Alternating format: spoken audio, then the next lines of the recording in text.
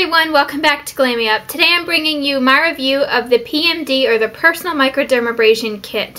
I want to start off by saying that I'm extremely grateful to have received this from PMD and I'm so thankful and I cannot thank the company enough for letting me try this out and sharing my review with you all. And I just want to say that it has truly changed my skin and the way my skin looks entirely and I could not even be more happy with it. So I'm going to go ahead and get into my review of it and I'm going to show you what comes with the kit and also how to use this. So stay tuned for the demo for it as well.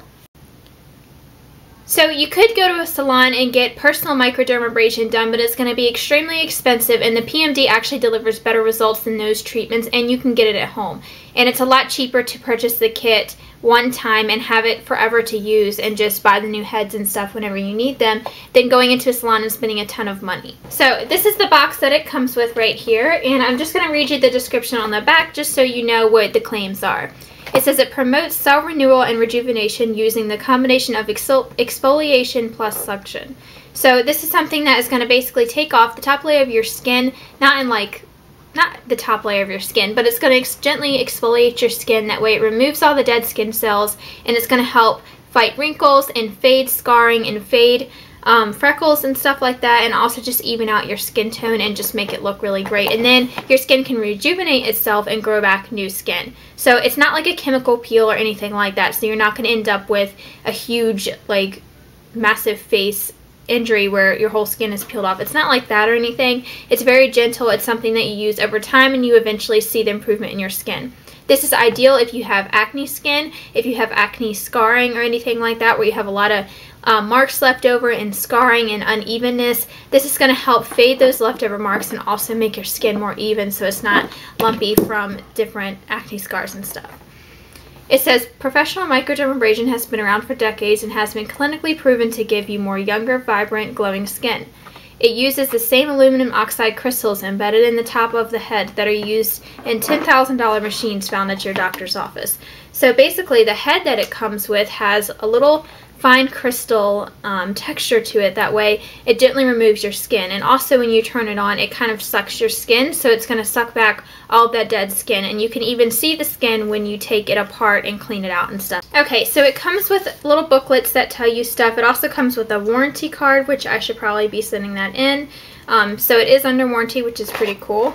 And then it has different like warning stuff. And then this booklet with a um, CD on how to use it. I actually did watch the CD. It's really helpful that way. It can kind of just give you a visual on how to use it. I'm going to be going over that in my video, but if you want the one from the company, the exact step-by-steps and everything, then I would definitely watch that because it's very helpful and you definitely want to read the instructions on this and watch the DVD. That way you don't damage your skin because something like this can be dangerous if you don't use it correctly and you can scar your skin and you can even scratch it and stuff like that and cause scabbing. So you want to make sure you do it correctly but it's nothing to be afraid of because I was pretty scared when I first used it. I mean, even after watching a few girls do it on YouTube, it was still pretty scary for me because I've never done anything like that. But it's nothing to be afraid of. As long as you use it right, then it's not going to hurt your skin at all. It's only going to make it look great. Then you get some of the little refill heads. These are different um, amounts of how harsh the exfoliation is. So the blue I think is the harshest and the green is the one that's not as harsh.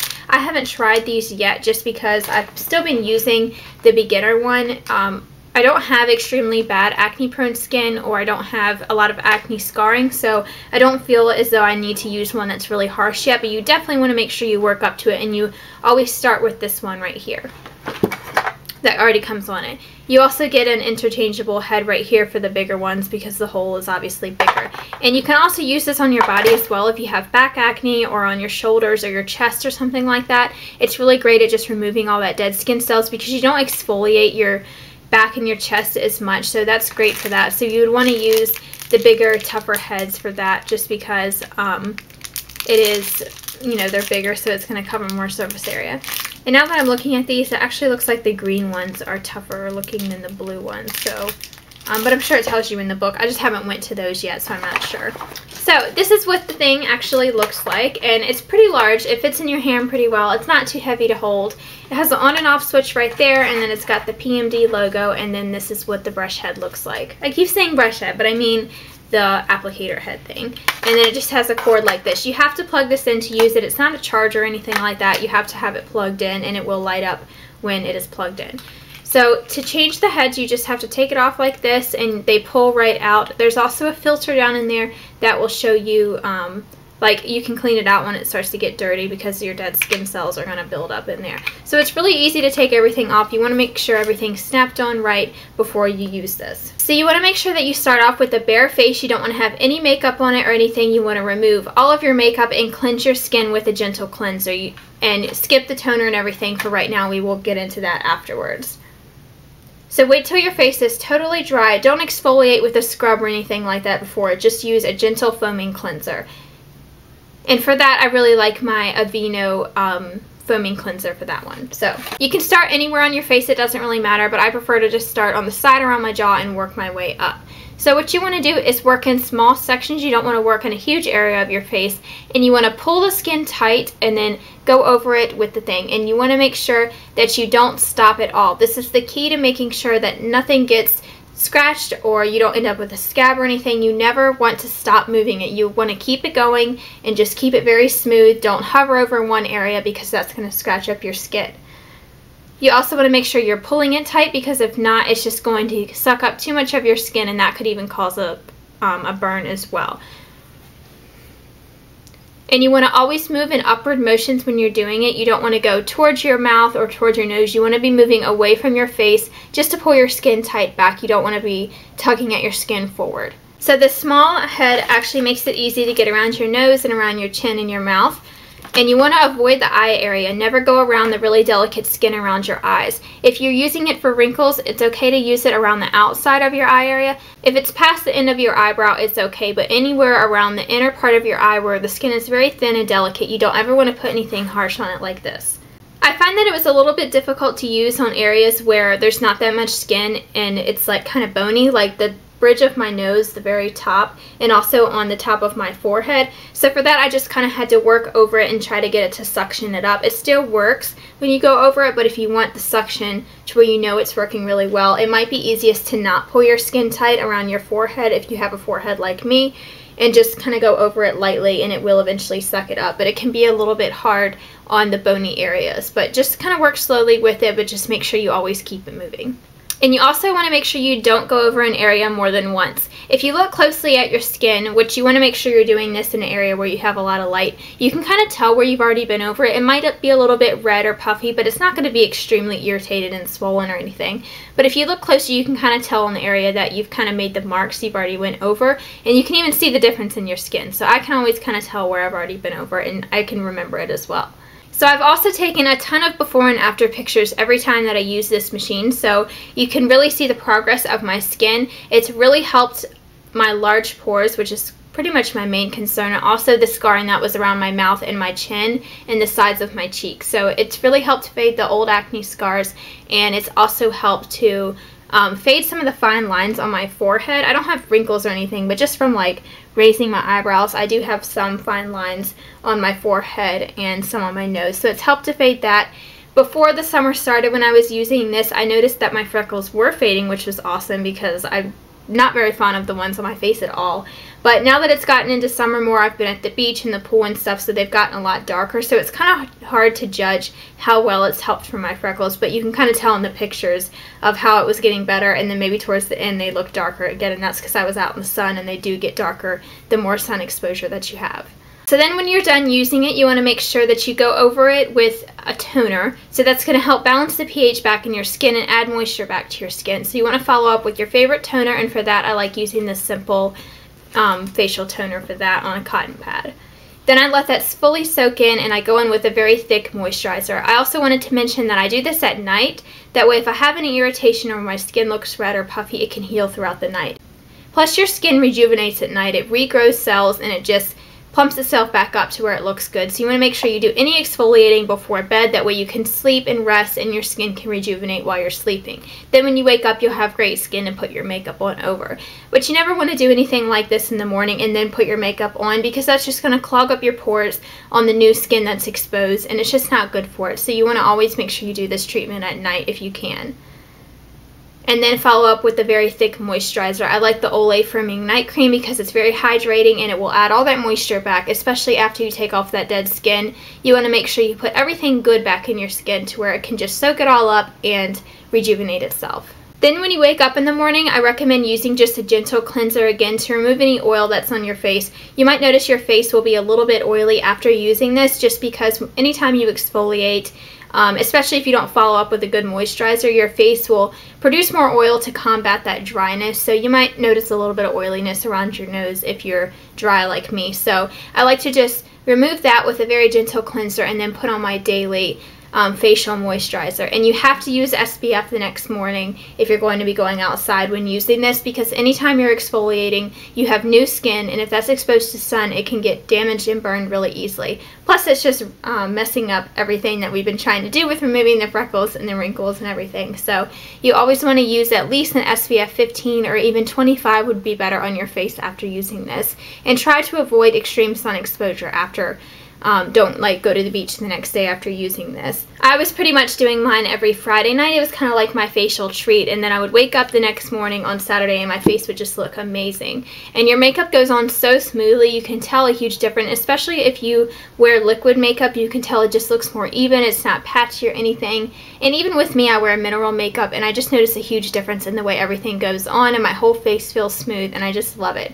And that typically lasts about a week up until you use it again. So it's something that you would want to continue to use. You don't have to use it forever, but I do notice my face will tend to start to get back to the way that it was.